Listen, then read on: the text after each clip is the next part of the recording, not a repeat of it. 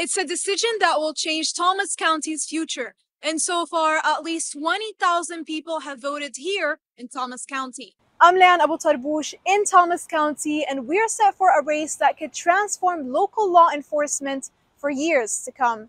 For the first time in almost half a century, Thomas County voters are choosing a new sheriff to replace the county's longest serving leader, Sheriff Carlton Powell. After 48 years, Powell is stepping down. Now, two people are hoping to grab the sheriff's office top spot. Timothy Watkins, a chief investigator with over 30 years in the department, says his experience gives him the edge. Um, people don't understand that the sheriff is responsible for more than just law enforcement. The sheriff's office has to run the jail.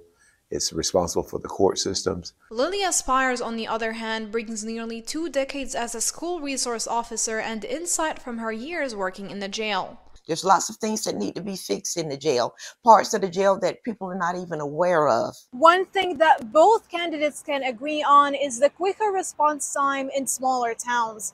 I'm Leanne Abu Tarbouche in Thomasville, ABC 27.